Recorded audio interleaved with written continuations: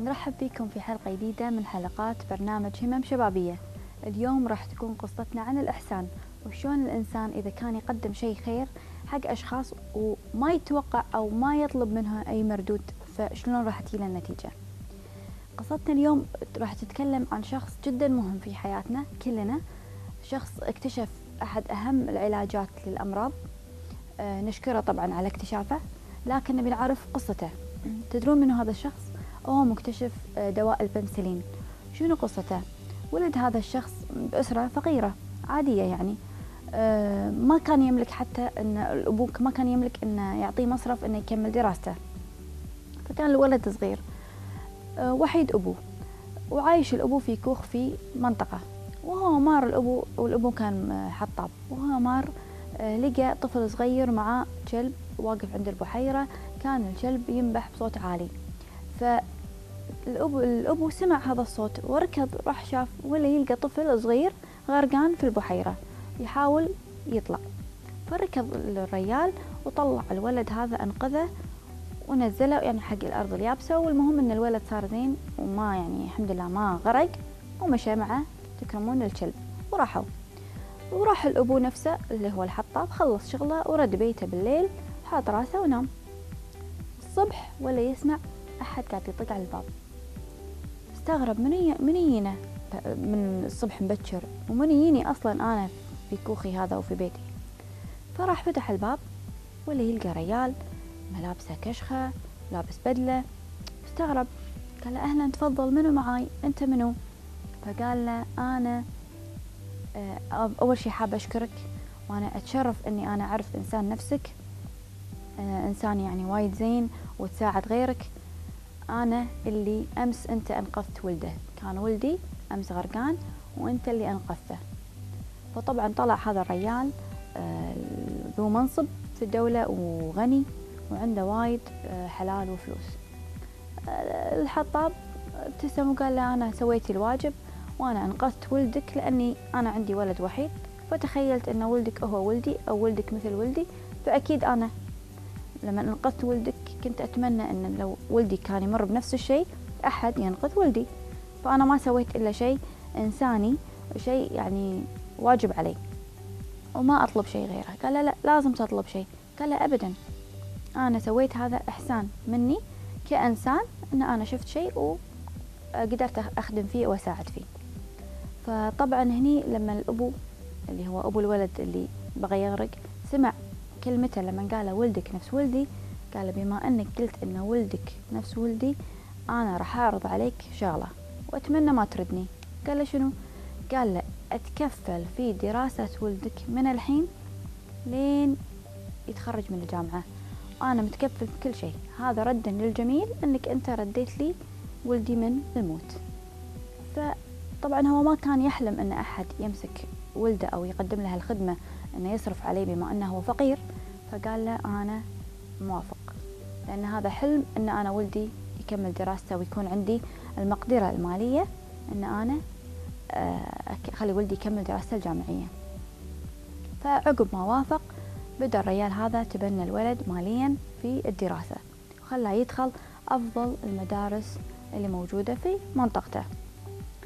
وبعد فترة وسنين بعد ما الولد كبر ودرس وخلص من المدارس العليا والثانوية ويا يدخل كلية الطب دخل لأن منه متحمل تكاليف؟ الشخص الغني. ولما دخل كلية الطب تخصص فيها وصار من أشهر الدكاترة الناجحين فيها.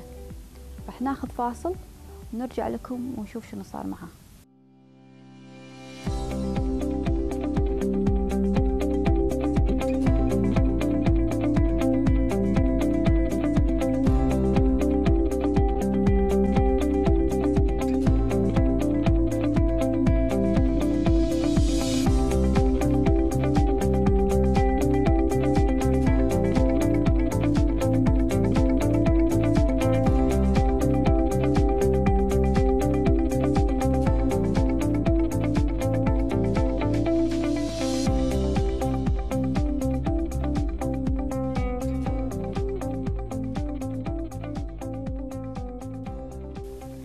رجعنا لكم من بعد الفاصل وقصتنا مع الشخص اللي ساعد طفل صغير بدون لا يفكر في يوم من الأيام أنه راح يجيله آه، يعني الإحسان اللي قدمه أنه راح يرجع له.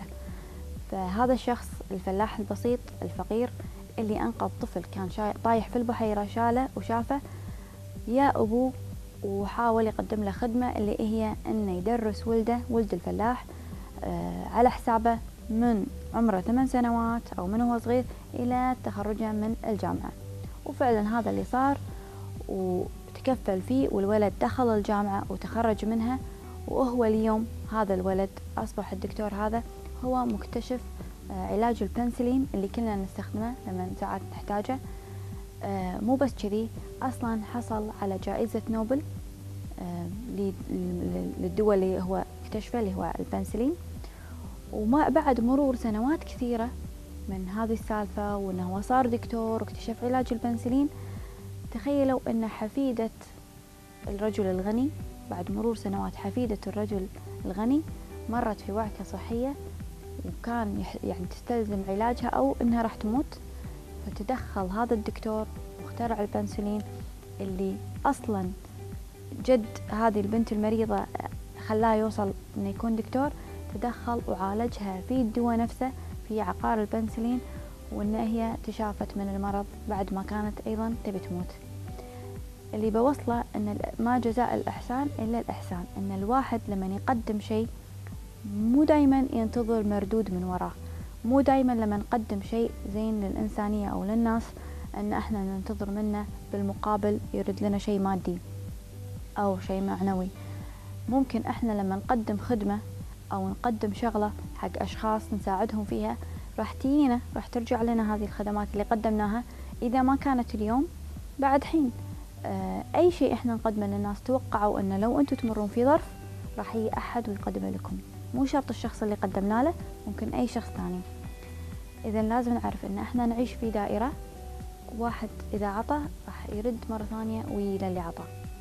فنتعلم أن الإحسان ما يحتاج مردود وأن الإحسان هو إتقان العمل بأكمل وجه. يعني هو لما نية أنقذ الولد ما حط شرط. ولا قال أنا أبي أسوي كذي يمكن الولد يمكن يمكن يغرق يمكن ما يغرق. لا أتقن أنه هو فعلا راح ينقذ هذا الولد ويشيله من البحيرة ويطلعه. ما قال لا أنا بحاول أحط خشبة. يمكن إذا الولد قدر يركب عليها أسحبها. يمكن ينجي. لا الإحسان أن إحنا نتقن العمل على أكمل وجه. اللي ما يقدر يتقن العمل لا ينفذه. دائما أنا عندي قاعدة أن الشخص إذا ما كان ينفذ العمل على أكمل وجه بالطريقة الصحيحة لا ينفذ العمل أفضل. أفضل من أن إحنا نسوي العمل ناقص مو كامل مو مرتب مو واضح. فالأفضل أن إحنا نبدي مبدأ الإحسان أن إحنا نقدم العمل بشكل واضح وما ننتظر دائما رد من أحد. يعني لو قدمنا أي شيء بأي تجربة بالحياة مرينا فيها بأي موقف ما ننطر إنه أنا سويت لك لازم تسوي لي. أنا أنقذت ولدك وأنت رجل غني لازم ترد لي إياها وتسوي لي كذي. هو ما توقع إنه راح يجي يوم راح يصير له الموقف وإنه ولده هذا اللي اللي ما كان يعني اللي كان يفكر شلون يقدر يدفع له مصاريف إنه يكون بالجامعة إنه راح يجي له واحد بسبب شيء بسيط إنقاذه. حق هذا الطفل إنه راح يشيله ويخليه مصاريفه كلها عليه. وهذا الطفل اللي مو متوقع من بيئة فقيرة ولد الحطاب راح يكون هو من أهم الأشخاص بالعالم اللي اكتشف دواء قاعد يعالجنا إحنا لليوم اللي هو دواء البنسلين. فبالنهاية إحنا لازم لما نسوي شيء مو شرط دايما ننتظر له مردود ممكن ينا المردود مع الوقت لكن أهم شيء لما نقدم شيء نكون نقدمه بأكمل وجه وبإحسان. أتمنى تكونون استفدتوا بحلقة اليوم ونشوفكم بحلقة قادمة.